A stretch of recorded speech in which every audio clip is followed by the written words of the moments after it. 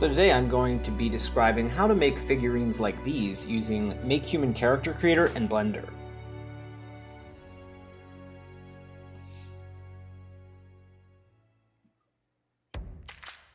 First I'm going to make a general body and focus on age and height, and then I'm going to save my figure before I continue.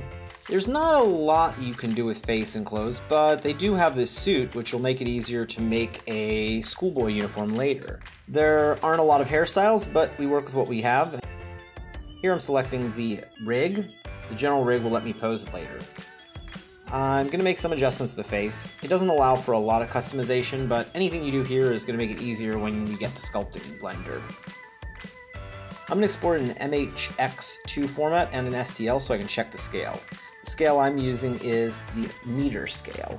You'll see that the figure doesn't load in Cura well, but the scale is right so we can proceed. I'm going to download the MHX2 importer. I'll import the zip file, and then check and see that it's in the plugins, and it is. And on the right side, you click the arrow to bring up the tools and the MHX importer to select your file. Now we've got our file along with the rig, and I'm going to start posing. It's important to have a very clear idea of what you want it to look like. If you start messing with the pose without having a real world example to look off of, it's very likely it's going to look uncanny or unnatural.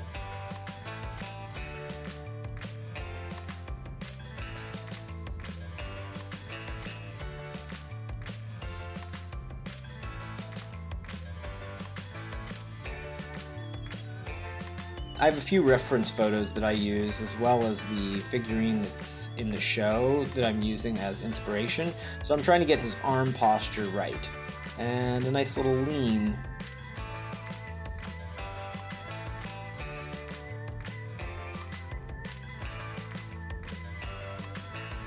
It's nice because this default modeling rig offers a lot of points of articulation.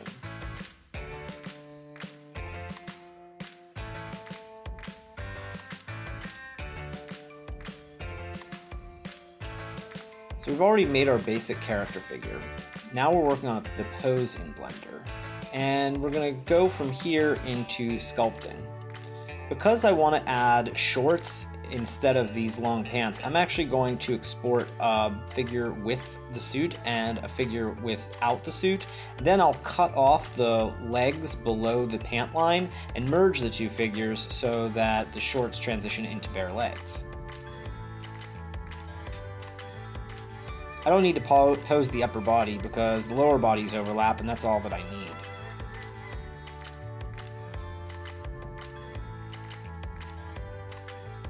You can see what it looks like when I select various parts and here I'm removing redundant things like the feet from the uh, suited model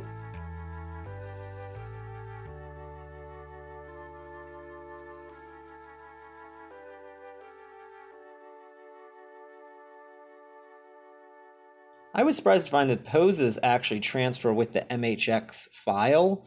So if you want, you can choose some of their default poses, which are a great place to start and then adjust.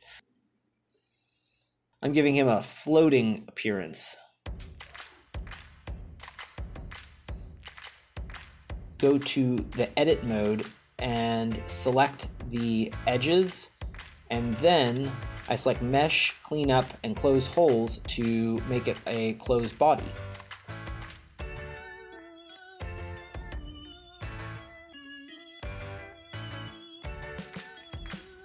I'll do that for the pant legs as well.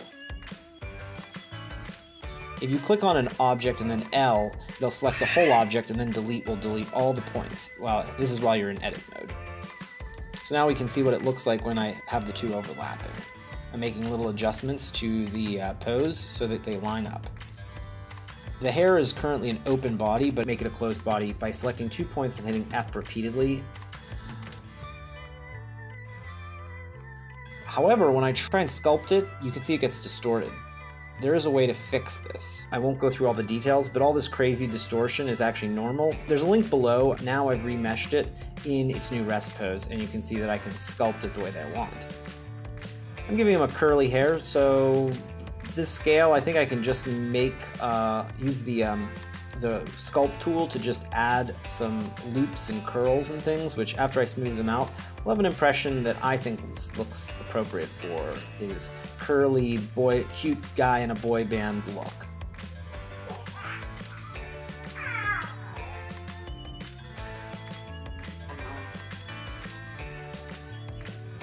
You can see when we use the M key and switch the view into wireframe that it has a lot more points now.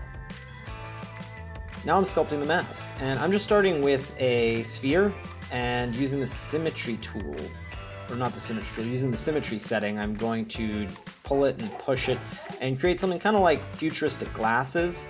This is surprisingly easy, especially if you just think of it the way you would with your actual hands. And it takes a little bit of trial and error, but the nice thing is you can always undo.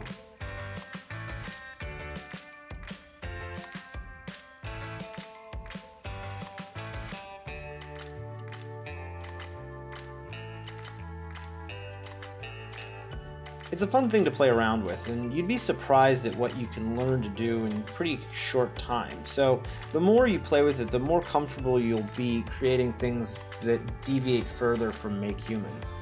I want the head to be a separate print, so I'm shortening the neck so that it's straight, then grabbing the edge and extruding it out.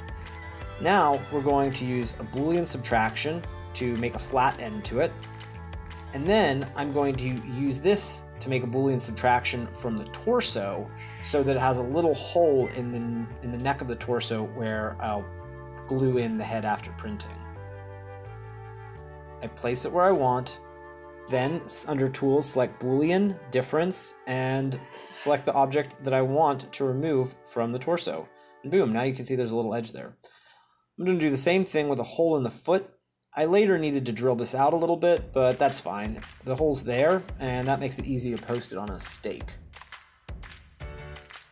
After this, I do a bunch of Boolean operations to slice it into different pieces. I make each arm a duplicate, and then I will do a Boolean subtraction and a Boolean intersection so that the I have the body without the arms and the arms without the body. This is a great trick for I found for printing complex parts, which otherwise I would have a difficult time printing even with the best supports.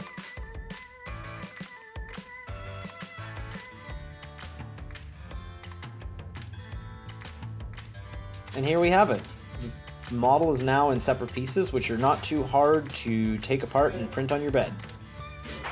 After that, all you need to do is glue it together and paint it.